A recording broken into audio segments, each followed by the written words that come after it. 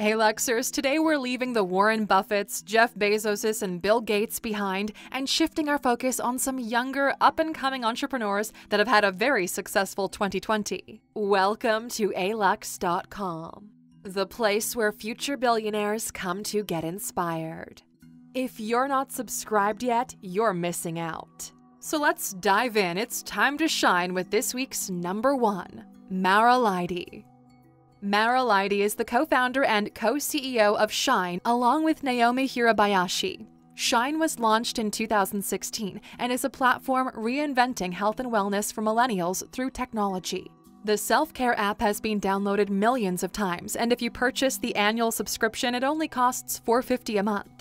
Marah was originally working as the director of mobile product and messaging for DoSomething.org, but felt completely burnt out.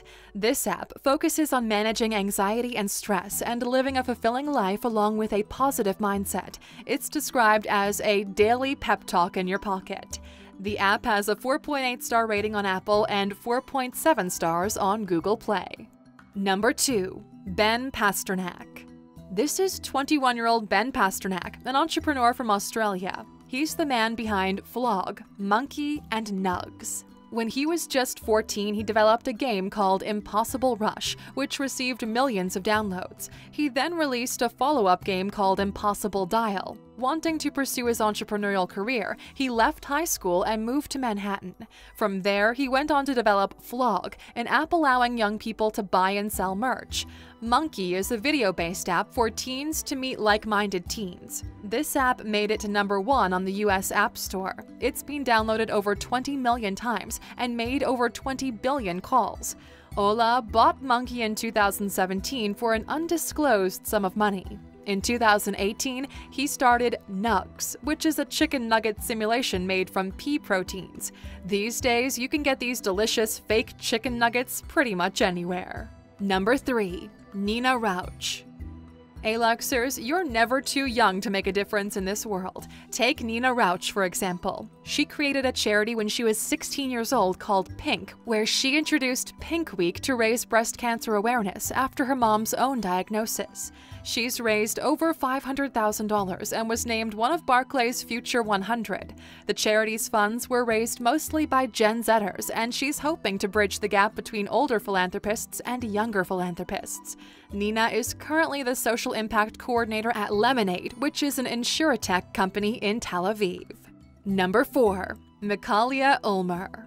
Speaking of bridging the gap between older and younger philanthropists, we introduce to you 15 year old Mikaila Ulmer. She was born in Texas and is the CEO of Me and the Bees Lemonade. Mikaila started selling lemonade at her own front lawn using her great grandmother's recipe from the 1940s. She was only four years old at the time. The recipe used honey from local bee farms and was so delicious, the local pizza shop asked her to supply them with stock. That was the beginning of her bottling journey. Since then, she's donated 10% of all of her profits to charities saving the bees. She received $60,000 on Shark Tank from Daymond John and in 2017 received $800,000 from a consortium of football players. Her lemonade is stocked in over 1,500 stores, including Whole Foods, The Fresh Market, and Kroger. She's also introduced other bee inspired products, including beeswax infused lip balms. She recently launched a book called Be Fearless Dream Like a Kid and is actively working alongside the Healthy Hive Foundation to continue saving bees. Number 5. Brendon Cox. Brendon Cox can remember the exact time he became addicted to entrepreneurship. It was in seventh grade, and his sister was making extra cash by babysitting. He was frustrated he couldn't babysit as most families wanted females, so he began searching the internet for ways to make money. The number one result for his age was to sell candy at school. He says, The next day I went to the dollar store where they sold a sleeve of three packs of gum for a dollar. In school, I sold each individual pack for a dollar and made $56 in profits on my first day. At that point, I was hopelessly addicted to the world of entrepreneurship. He then bought an Instagram account with 100,000 followers for $900 and made his money back within a week. He went on to design phone cases, got them manufactured in China, and then shipped back to sell. From there, he formed Cox Visuals, Teen Assistant, an app that connects teens with odd jobs, making a portion of their earnings, and he still manages to study at the University of Scranton. Number 6. Cole Bennett. Cole was in high school when he created a blog called Lyrical Lemonade. His mom helped him choose the name and gave him his first video camera. He then started directing music videos for local rappers. Along with music video uploads, Cole uploaded live show recaps, interviews, and dockies, which were all well received. Lyrical Lemonade expanded, and eventually Cole was working with artists like Famous Dex, Smokepurpp, and Lil Pump. What really put Cole on the map was Lucid Dream, which received over 480 million views on YouTube.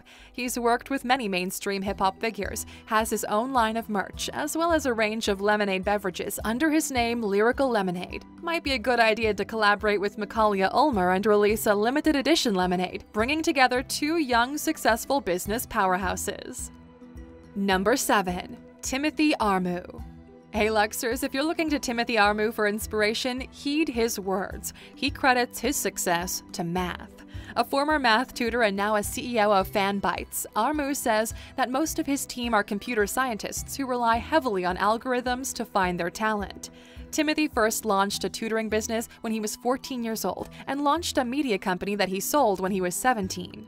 FanBytes is actually his third company, which he developed alongside Ambrose Cook and Mitchell Fasanya. FanBytes helps big brands stay relevant for Gen Z and millennials. They run branded collaborations with brands like GoPro, Deliveroo, and Adidas, together with social media influencers. As Timothy puts it, social media content is the next frontier of advertising, affirming that for too long ads have represented an interruption or intrusion into our daily lives, rather than a seamless part of them. FanBytes has been recognized by Forbes, Adweek, HuffPost, and Business Insider. Number 8. Benjamin Hochheiser Dubbed a serial entrepreneur, Ben Hochheiser started getting the taste for business when he was just 10 years old. He sold necklaces and bracelets to kids at school. His dad jumped on board and turned the small business into a six figure project. Within 12 months, the business had generated over $150,000 worth of sales. Ben is now the co founder of Blade Marketing and founder of Entrepreneur Blast. They focus on direct digital advertising, public relations, and press release distribution. The 20 year old also has partnerships with FMA, Be Your Own Boss Advantage, and Unblinded Mastery. He leaves some key advice to up and coming entrepreneurs, saying, If the plan doesn't work, change the plan, but never the goal. Number 9. Caroline and Isabel Bercaw. When Caroline and Isabel were 11 and 12, they were both using bath bombs to help soothe their aching muscles after training sessions. The sisters weren't wild about the products they were using because the bombs would leave rings around the bath or wouldn't wash off their skin so they'd have to shower after their bath.